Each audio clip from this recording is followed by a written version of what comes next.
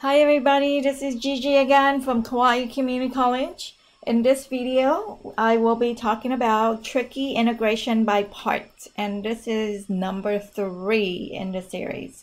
There are, I'm gonna, I'm, I'm gonna do four of them actually, so this is number three out of four. Okay, here, suppose you have the integral of e to the x sine x dx. Okay, so again, uh, when deciding uh, what u and dv are, we are going to go ahead and think about what we can integrate and what we can uh, take the derivative of, right? Let's remind ourselves again, the integral of u dv is equal to u times v minus the integral of v du. Okay, so um, here we are going to go ahead and let u be sine x and then let dv be e to the x dx. I just feel like it's easier to take the integral of e to the x um, rather than sine x, even though I think in this case you probably could do um, the other way around. But anyhow, du is going to equal to uh, the derivative of sine x is cosine x dx. And then v, the integral of that, is just e to the x, right? So what you will have here is um, the integral of e to the x sine x dx is going to equal to u times v, that would be e to the x sine x minus the integral of minus the integral of v du.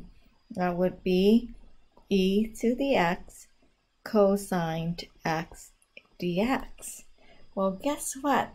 We get to do this one more time, right? So um, now let u, in this case, let u be, okay, let u be cosine x, then du will be negative sine x dx, and then let dv be, again, e to the x dx, then v will be e to the x. Okay, so let's go back to our problem. And here's the thing, uh, we should write down what we started with and you'll see why we want to do that in just a second. e to the x sine x dx, the integral of that, that's our original problem, is going to equal to e to the x sine x, okay? We would say minus, okay, so the purple part here is going to be minus e to the x cosine x, right?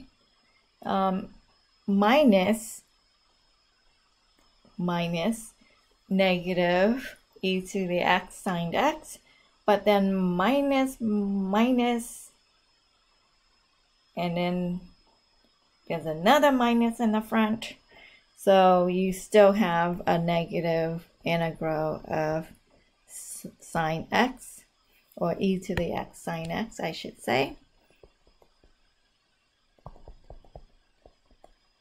Okay, now what do you notice?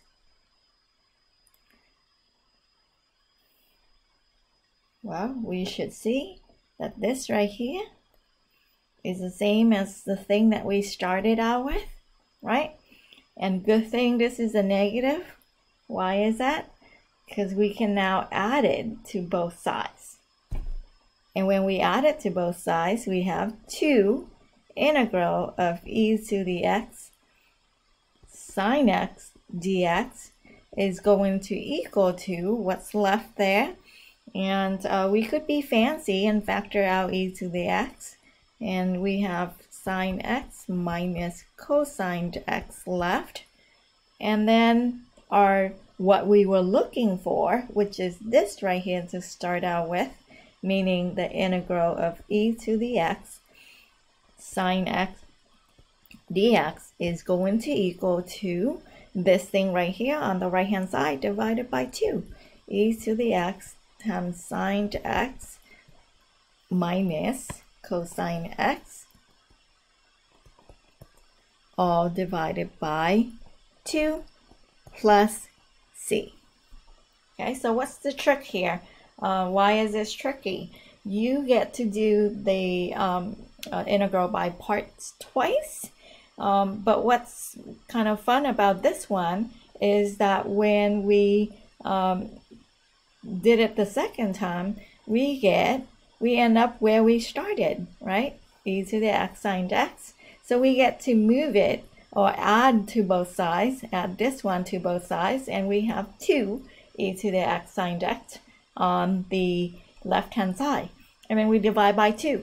Okay, and that is why this one is kind of tricky. And you should kind of think about how um, the problem is to start with, right? We know that sine x and the derivative of that is cosine x, and the derivative of cosine x give you sine back sine x, right?